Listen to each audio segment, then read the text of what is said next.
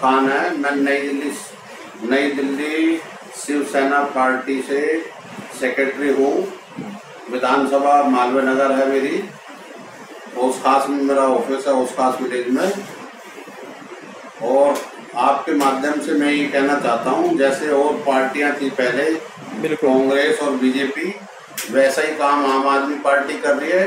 ठेकेदारों से मिल मिला के जहाँ पानी की ज़रूरत है पानी के परिसर की ज़रूरत है वहाँ पाइपलाइन नहीं डाल रही है। ऐसा कौन सा इंजीनियर है कि नई लाइन डालने से पानी का परिसर तेज हो जाता है? जिसमें कि एरिया में कहीं पानी की लीकेज नहीं है। तो पानी की शॉर्टेज देखी जा रही है क्षेत्र पानी की शॉर्टेज है पीछे से पानी छोड़ नहीं रहे और भारने से नई लाइनें पूरी साउथ दिल्ली में डाल दी है। पानी का प्रेशर छोड़ नहीं रहे। बिना लीकेज के ही सारी लाइनें बदली गई है। हाँ जी। पानी का प्रेशर कहीं नहीं आ रहा है और दो दो तीन तीन बार भी डाल दिए मतलब कहने का मतलब है कि पानी की लाइन है और प्रेशर डाला जा रहा है। प्रेशर नहीं है। अपने फंड को गलत यूज़ किया जा रहा है। गलत यूज़ किया जा रहा है बिना बात लाइन डाली जा रही है। जहाँ पे जो आवश्यकता है वो पूरी नहीं करी जा रही। वो, वो नहीं करी जा रही। लाइनों को चेंज किया जा रहा है जिसमें कोई कमी कमी नहीं है। नहीं। हमारे यहाँ क्षेत्र में ज़्यादातर सीवर लाइन की प्रॉब्लम है। सीवर लाइन पिछले दो तीन साल से ठप पड़ी है। कितनी बार मैंने कंप्लेंट कर दी कितनी बार मुँह जबानी जाके बोल दिया। लेकिन आज तक कोई उसकी व्यवस्था नहीं हुई है। क्योंकि कुछ लोगों के मकानों के नीचे भी दबी हुई है और कुछ ब्लॉक पड़ी है। तो आज तक कभी कोई चेंज करने का प्रोसीजर ही नहीं है, थक लिए हम तो। इसलिए आपके माध्यम से ये काम की इच्छा कर रहे हैं कि हो जाए तो बढ़िया है। यहाँ की निगम पार्षद है रा- राधिका फोगाट वो भी ध्यान नहीं दे रही इस काम पे। यहाँ लाइट की दिक्कत है पार्कों की सफ़ाई की दिक्कत है रोड की सफ़ाई की दिक्कत है रोड टूटे हुए हैं और बिजली के खंभे जो हैं कुछ जगह पे लगने हैं। ये आठ दस काम होते हैं वो ये नहीं कर रहे हैं। अच्छा मतलब ना ही आम आदमी के कोई विधायक काम कर रहे ना ही भारतीय जनता पार्टी की पार्षद कोई काम कर रही है कोई नहीं। तो जनता क्या चाह रही है सर यहाँ की? क्योंकि जनता कांग्रेस को भी आजमा चुकी है भाजपा को भी अब आजमा चुकी है। आम आदमी पार्टी को भी आजमा चुकी है। तो जनता का क्या माहौल है क्षेत्र में?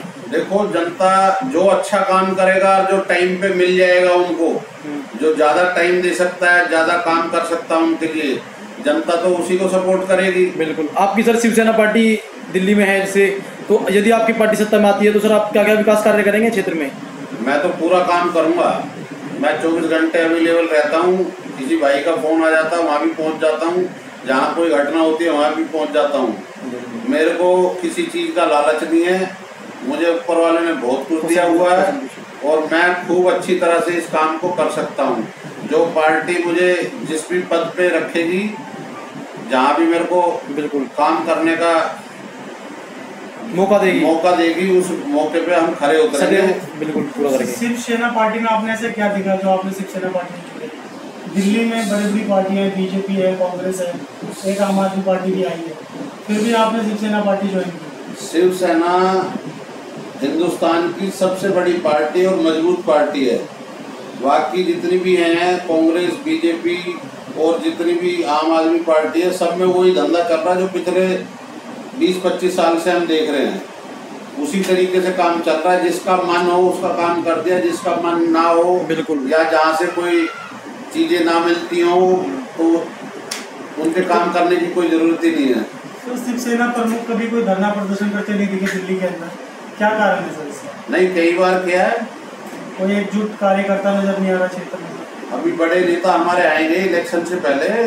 टीम हमारी तैयार है पूरी और खूब दिल्ली के अंदर खूब काम भी चल रहा है। नरेला की तरफ़ चल रहा है इधर सादरी की साइड पे खूब काम चल रहा है। साउथ दिल्ली में थोड़ा कम है लेकिन धीरे धीरे संगम विहार भी है लाजपत नगर है अपना मालवीय नगर है धीरे धीरे लोगों को पता लग रहा है। सर क्या लग इस बार के जो लोकसभा चुनाव होंगे क्या शिवसेना सर लड़ेगी उसमें फाइट करेगी दिल्ली हाँ। से दिल्ली की सातों सीट पे। उद्धव साहब ठाकरे का तो कहना है कि सब जगह हम अपने बंदे खड़े करेंगे अब देखो जिसको मौका मिलता है बढ़िया काम होगा बढ़िया काम करेंगे। लोकसभा की तैयारी कर रही है शिवसेना। हाँ जी। सारी सर आपको ज़िम्मेदारी दे लोकसभा चुनाव के लिए तो मैं करूँगा। हाँ कोई दिक्कत वाली बात तो नई दिल्ली लोकसभा से लड़ेंगे आप चुनाव? हाँ बिल्कुल लड़ेंगे। अगर मौका दिया तो पार्टी ने। नई दिल्ली लोकसभा तो आपकी सीट निकल पाएगी सर नई दिल्ली लोकसभा से? देखो सीट की तो ऊपर वाला मालिक है जो जिसकी जितनी मेहनत होगी जितना बन जितना लोगों का काम करेंगे पहले ही करना शुरू कर देंगे तो और खुश हो जाएँगे लोग। ज़्यादा ज़्यादा बेनिफिट मिलेगा उससे हाँ, आपको। क्योंकि काम तो कुछ तो ऐसे होते हैं कि आश्वासन ही देते रहते हैं वो आश्वासन ही चले जाते हैं। बिल्कुल। बनने के बाद वो मिलते भी नहीं है लोगों से। बाकी आपकी क्षेत्रीय सांसद है मीनाक्षी लेखी जी। उनका कैसा काम है सर क्षेत्र में? उनके तो दो तीन ये काम रहे कि एमएलए ने काम किया है। उन्होंने बोर्ड जाके अपने लगा दिए हैं जाके कि मीनाक्षी लेखी ने लगाए ये मीनाक्षी लेखी तो उसकास विलेज में या आसपास कभी दिखी नहीं है। बड़े बड़े आदमियों के प्रोग्रामों में आती हैं वो। अच्छा मतलब क्षेत्र में कभी नज़र नहीं आती वो? क्षेत्र में कभी नज़र नहीं आई। बड़े बड़े लोगों की जो वो है ना हम्म, कार्यक्रम। हाँ उनमें खूब आती है। अच्छा। क्योंकि वहाँ से बाकी क्षेत्रीय जनता से कोई उनका मेल मिलाप नहीं है? ना। और क्या क्या समस्या बनी हुई है सर? सरकार जो जीएसटी लेके आई है आप इसका स्वागत करते हैं? नहीं स्वागत नहीं करते उसका क्योंकि वो एकदम से ज़्यादा बढ़ा दिया एकदम से ही ला के लोगों के सिर पे रख दिए। धीरे धीरे चलता रहता धीरे धीरे गवर्नमेंट को टैक्स मिलता रहता। एकदम से नहीं होनी चाहिए चीज़ें।